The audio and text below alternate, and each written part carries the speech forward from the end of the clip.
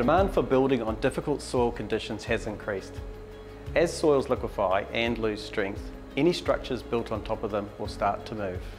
Our new cyclic triaxial equipment can evaluate soil strength and deformation under cyclic loading conditions such as earthquakes, wind, sea waves and more.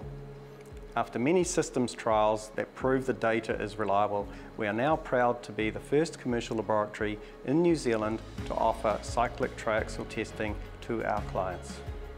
Our new equipment is capable of testing a wide range of soils, particularly those cannot be appropriately assessed using the conventional methods. The cyclic testing is very technical and complex meaning the samples are extremely delicate. The samples are frozen on site and then transported in a frozen state to minimize disturbance. As well as cyclic testing, we also perform bender element tests to determine the shear wave velocity in the soil specimens. With these particular tests requiring highly specialist knowledge, our laboratory team hold a high degree of experience to obtain these accurate results. The representative results that's obtained from cyclic testing will ensure that material will withstand all conditions, therefore minimising any future risk.